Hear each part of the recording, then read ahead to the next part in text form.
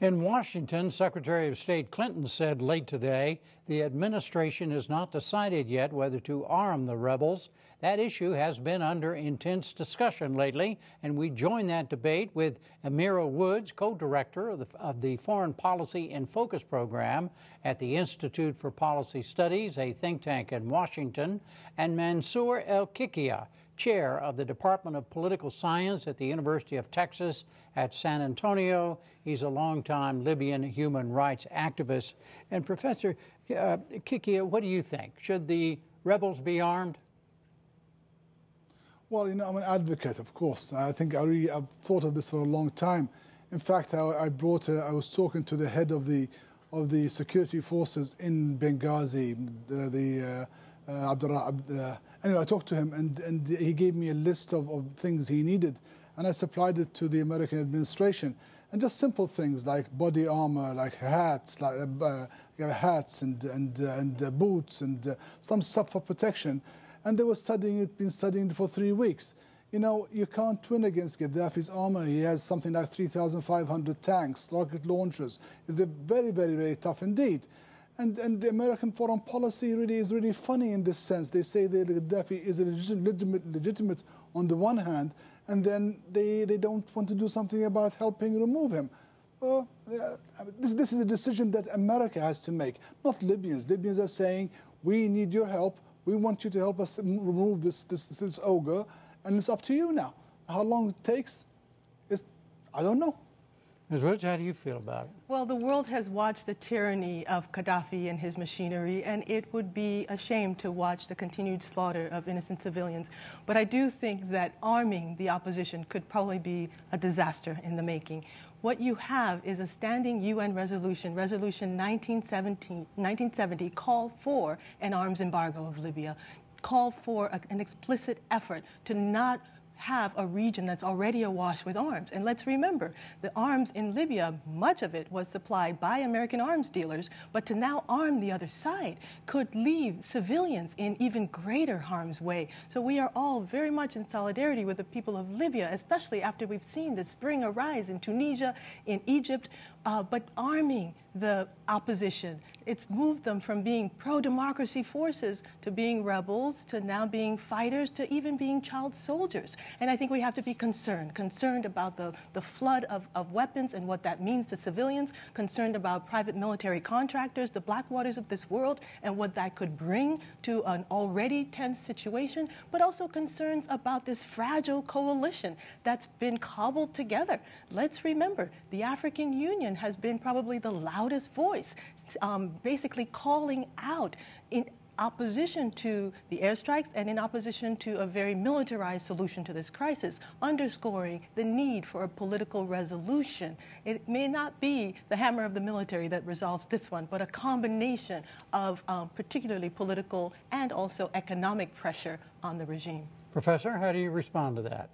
Well, I'm sorry. I, I, I tend to disagree. I think I think. Uh, Yves Montand once said the pacifists tend to think that wolves are vegetarians. They're not. These words will not deter Colonel Gaddafi from destroying the cities that he goes into. This is one. And secondly, the, the arms embargo, you're not really impacting Gaddafi because he, as you can see, he has enough arms to blow up the whole country at will is the people who need the arms most that don't have it.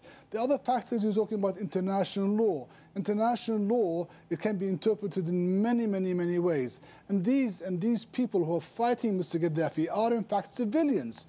Yes, they're not, they're not now we have the professional soldiers, and the professional soldiers don't have the weapons that they can use against Gaddafi. Therefore, they have to sh shuffle back all the tanks, the bad tanks that are hit by the coalition, to try to fix them and put them up so they can meet Gaddafi. But they're, they're, they're, no match for, for, for the huge amount of, of uh, military hardware that this regime has, and the regime will use it to the utmost, the, the utmost uh, uh, capacity the idea that he's, he's, he's, he's, uh, he's up for, for some compromise or for that's, that's not Gaddafi. It means you don't know Gaddafi. We know him. We've lived with him for 30, for 40 years. We know what he's capable of, and much of the world has seen what he's capable of in the last four weeks. You heard that, uh, Ms. Woods. There's no no compromising with uh, Gaddafi. It, uh, he has to be destroyed uh, militarily. You heard what the professor said. Well, clearly, you know, as a Liberian, we know well the history with Gaddafi. It goes back to support of Taylor.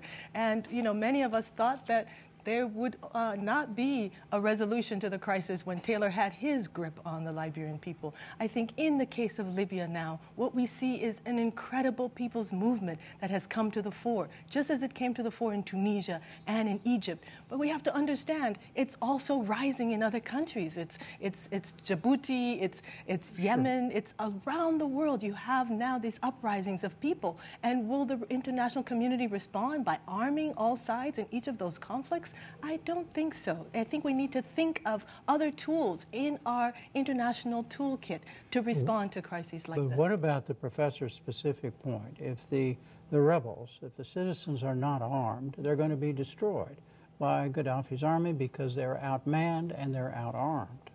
I think clearly we have to use all means to protect the civilians. I think that was Resolution 1973 of the UN to protect the civilians. But arming the civilians takes a step further. That was not in Resolution 1973. It takes a step further from protecting to actually creating combatants in a conflict and arming them. And again, many of these combatants are young, they are poorly trained, uh, they, they, they are child soldiers. And in a situation like this, we want to make sure that we first do no harm.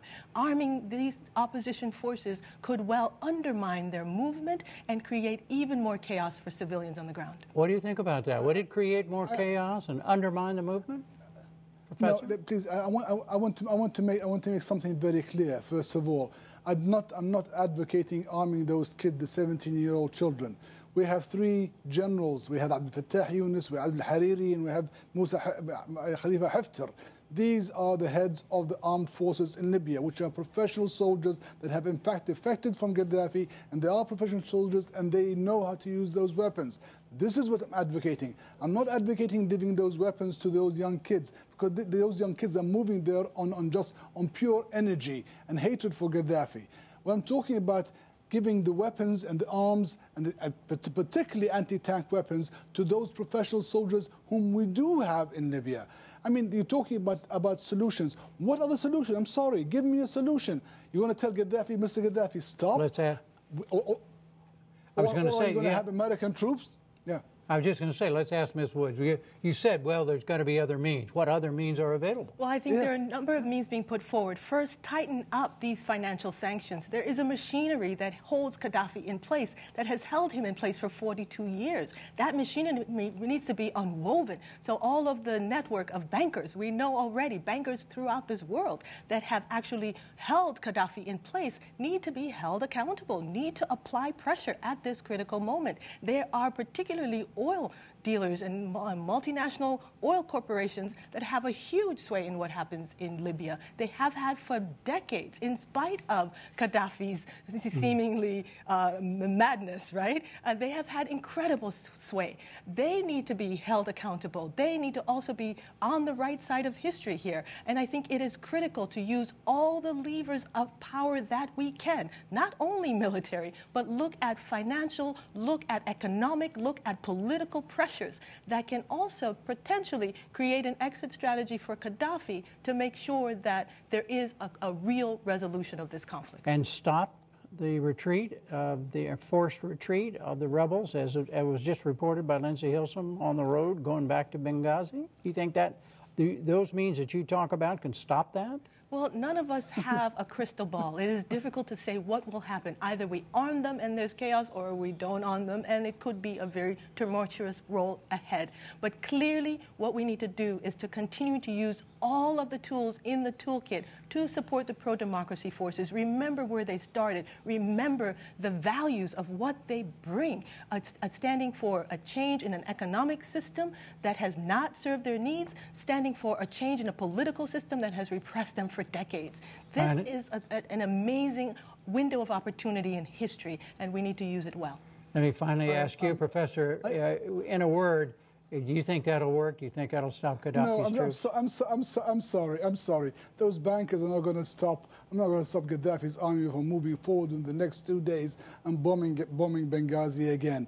Listen, there's one Arabic saying which is really wonderful over here. If you see, if you see the lion's fangs showing, don't think the lion's smiling.